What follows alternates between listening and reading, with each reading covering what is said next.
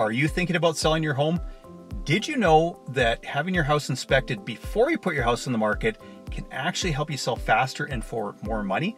If this is something you're interested in, stay tuned because we're starting right now.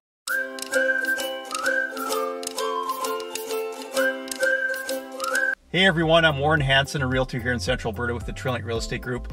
If this is your first time here, be sure to hit the subscribe button down below. I post new videos all the time and you don't want to miss anything. A pre-listing home inspection is an inspection performed by a licensed home inspector before a seller lists their house for sale.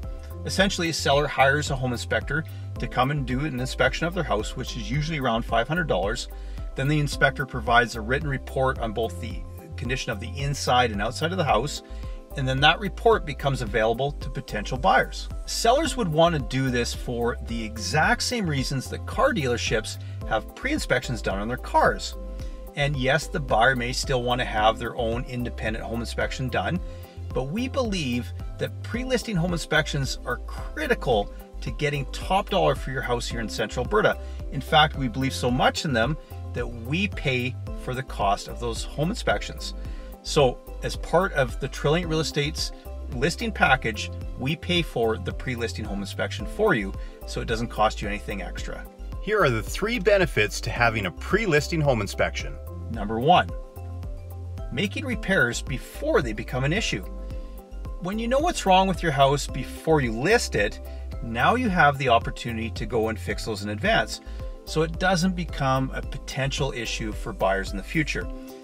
Home buyers, especially first time home buyers, can be easily spooked by really minor maintenance issues and repairs. And home inspections will often identify simple things like downspouts that aren't out far enough or leaky faucets, really simple and cheap things that you can take care of before buyers ever have a chance to worry about it. As a seller, there's nothing worse than when a buyer backs out of an offer because of a long list of really insignificant and easy to fix things. And not only do you have to start the whole sales process over again, but now you're going to have to convince the next buyer that the last deal fell apart because of really minor things and not because the house is actually falling apart. Number two, eliminate painful renegotiations with the buyer.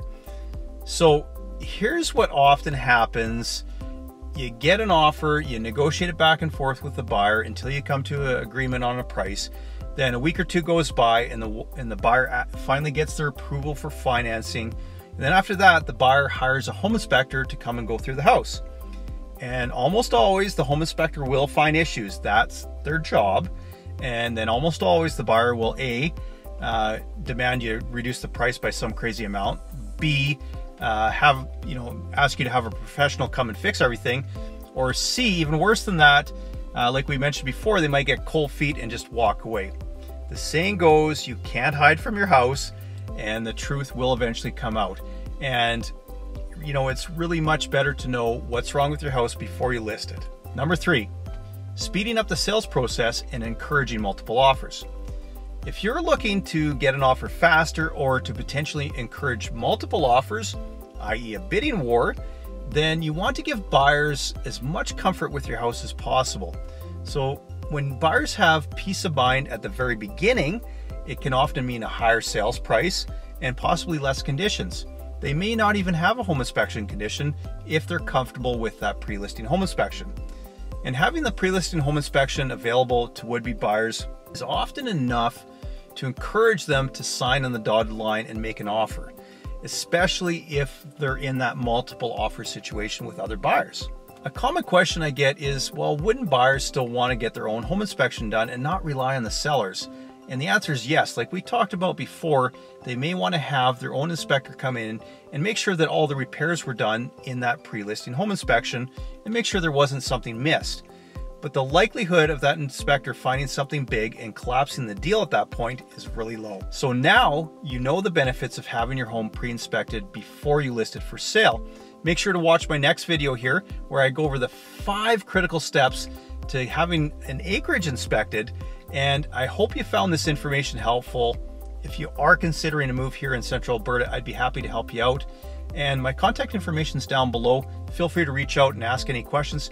Thank you so much for watching. If you like this video, hit the thumbs up and leave a comment down below. See you next week.